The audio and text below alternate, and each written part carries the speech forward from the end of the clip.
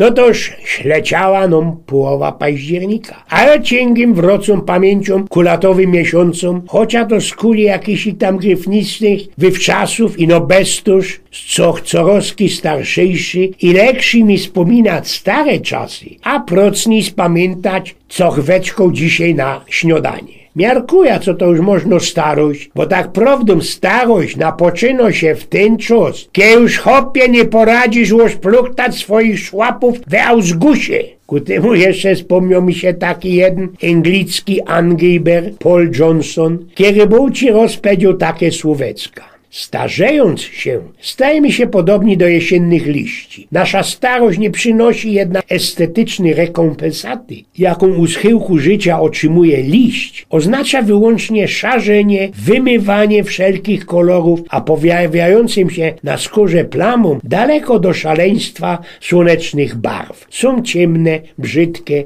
i zwiastują zagrożenie. Teroski zaś już od rańca dziecka na szport placu wele mojej szuli romplują, larmują, wyrobiają, a mnie to już dziebko szteruje, a każdego starego purta zawdy jest jakaś uciecha kuchnąć się na fesz szykowne i te pośmiewne gizdy, pogawcy cię na nich, wspomniecie kiech to są, bajtlem bój ze moimi kamratami, rektorowi od polskiego folowali mi fajfka siarką ze sztraecli, a jak już skozi powiedział, wspomniało mi się lato, jakieś to 12 lat temu nazad, był bez sołkie wtedy lato festelnie niemocny. Prasknął mi w ten czas do imentu ten mój dupek herce, ta moja plumpa te serce. Kiedy do tego mojego czwartego już zarają herczlagu i tak ci zatela szczymało. Jakosik tak na Boże ciało we tym nieszczęsnym 2002 roku wzięli mnie pierwszy raz po poruch latach na, już na ostatni driker do Lazaretu do Bytonia. Tam ci mnie roztomali te doktory, doktorki oklupali, obmacali, osłuchali i na ostatek powiedzieli, że musza wartko, ale to naisto wartko pójść do ojca do żnięciu. Mieli mi robić jakieś ich bypassy, heftować, co by ta moja plompa jeszcze bez poradot klupała jak przynależy, a ja bych mógł se jeszcze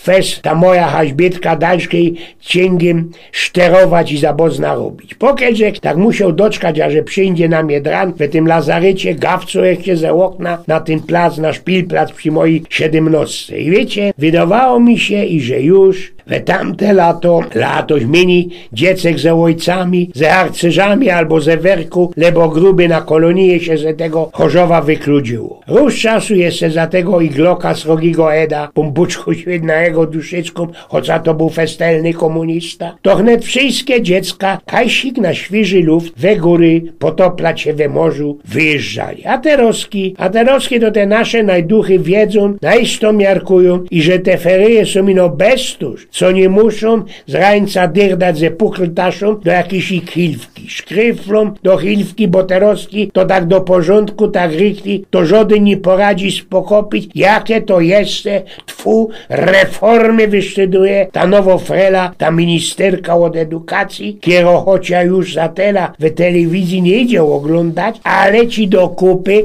ze z tymi skorzejszymi ministrami już tela nametlała, nawyrobiała, że od samego bis Bismarka takiego bajzlu nie było. No ale nie ma co wynokwiać, bo przeza we październiku to ci i Klara już nie grzeje, oby gryfno halbecka stażikowego bimbru, lebo starcynnych cześni na szpyroniu i skuli tego hica bezpołednie jełniu o wiela mniejszo. A miesięjno sztyc jednym cięgiem lecy co belące po palicy i spominą na ten przykład gryfne sztrofki Józefa Ryszki nie są ci one po naszemu, ale pisał je w 29 roku hop, który mieszkał na teroźniejszym placu Mickiewicza we Chorzowie. To był harcy ze czynności drużyny imienia Rogozińskiego, który na isto festelnie rod miał nasz Ślązyk.